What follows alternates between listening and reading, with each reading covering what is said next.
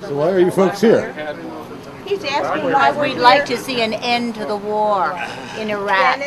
And we want to bring our boys and girls home. Wants to know We're tired of having them killed. Why we're here? For a war that we shouldn't Well, be right now, we're involved waiting in for our the first reports to arrive, and as soon as they do, we'll deliver them to Mr. Buchanan's staff.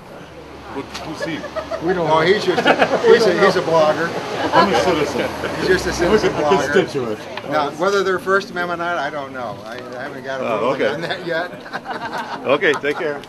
I got uh, Move On, Florida Consumer Action, um, Florida Veterans for Common Sense, Women for Peace, Florida Palestine Which one? Everybody wants to come?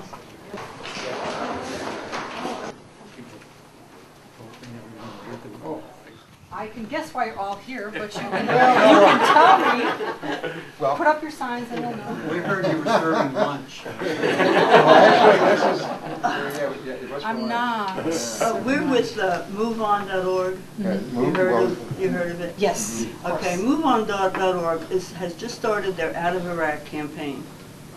Okay, and we want to just explain to the uh, powers that be, wherever they are, that we're tired of the Iraq war. It's not doing us any good, any way you slice it. Yep. Right now, it's cost American people $456 billion total, 25 billion for Florida alone, and 41,000. Seventy-two thousand, seventy-two Sev- million, five hundred thousand. 72 million, 500,000 for uh, our, our county alone, f- which adds up to approximately $4,100 for every household in the country, $4,100. This is a paper telling Mr. Buchanan what could happen if we weren't spending that money. Our education program would be next to none. It would be the best education program we ever had if we used 1% of that money. And there's various other things in Health here. insurance for everybody. Right. This report really highlights the trade-offs of the money we're spending there. For instance, in there it shows that te- for 10 days in Iraq, we could fully fund Florida's K through 12 education program, which is a better investment to make in Florida, Right. here in our students and for America, than spending this money over there. And I'm a teacher, so I can vouch for that. It's important. There are a lot of teachers here today? I'm a graduate student. Well, that counts, that counts. Investment advisor. Well, you've So got a, you've got a, a you've got a diverse So are there, are there different groups being Oh, yeah, we represented have- here today? Here Yes, represented today, Comment future. Move On is the, the the Umbrella. instigating, Right. well, the instigating organization, they, ca- they call the meeting. Mm-hmm. And rising to that call are Florida Veterans for Common Sense, Mhm. which this fellow over here and I and another guy, Mike Burns, a former POW, Okay. and Hanoi Hilton formed back in about '03, '03 or '04. Uh, we have Code Pink, of course, with us here.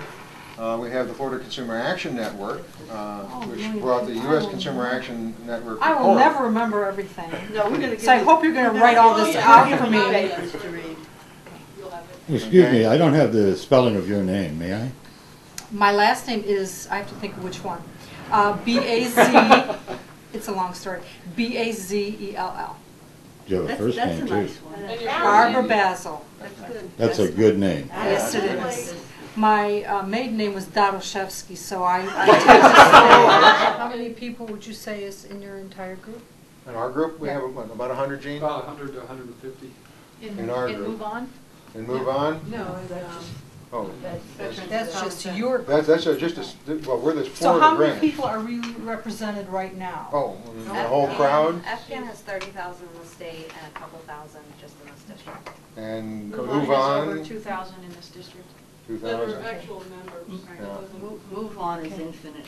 Yeah, well, I mean, Well, I wouldn't know. that's a number that's difficult to put my mind around. Yeah, it's, yeah, I never could get a hold of myself. But at any rate, um, So you have because some we've been, well, information here for us? uh, I think, Statistics I think this, the Vern staff should have already seen most of these reports, but uh, uh, Mr. Jones has been kind enough to make a compilation, not only of our call for withdrawal. Okay. Now, we came out for withdrawal by the end of this year, we did that about two years ago. And we recognize that that's not going to happen just on a logistical basis, but until we get the ball moving in that direction, it's never going to happen. And the fundamental reasons for that position are set forth in the attachments. okay, Um, And they are, of course, um, highly reliable individuals um, who have lots of experience in this field, telling us why this is a bad thing. I will certainly pass this information on to the congressman when he gets back into town. No, he's not in town. Uh, I'm not privy to say, for security reasons. Um, But I... Nobody's after Vern. No, I, no, I can, I cannot tell you. But, um, as he is not in the district. It was so wonderful of her to take the time to spend, to, to let us vent and share our information. But I mean, she's, she's not the one in charge. We're to be fairly quick. How about that, uh, like minutes later? So I felt like we kind of imposed, At least you can that talk that down was there my otherwise. opinion, that we kind And of it's You have a on name? Crystal Hutchison. I'm with Florida Consumer Action Network. And we met with his constituent services advisor, I believe, Barbara. And it's unfortunate that we didn't get to meet with Ron Turner, the director, or Selena, the scheduler, or Mr. Buchanan himself. But we were all there. We were all very outspoken, and we told her again how we all urge Representative Buchanan to take a stand against this war in Iraq.